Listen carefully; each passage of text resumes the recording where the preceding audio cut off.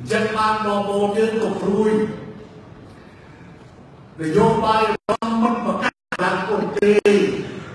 អ្វីដែលខ្ញុំត្រូវការគឺបងប្អូនឲ្យគ្រប់តែប៉ុណ្ណឹងទេបងប្អូន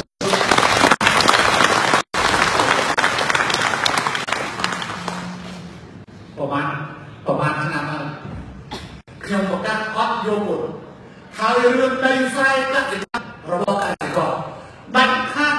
តមិនយកពុនក្នុងដំណាក់កាលដីគ្រួសារអត់ទេ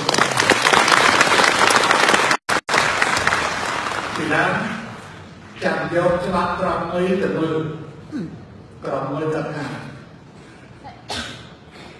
ពូទីកតាំងក៏ជាប់ពុនដែរប្រាំចំដើមចូលទៅស្រុកខ្មែរ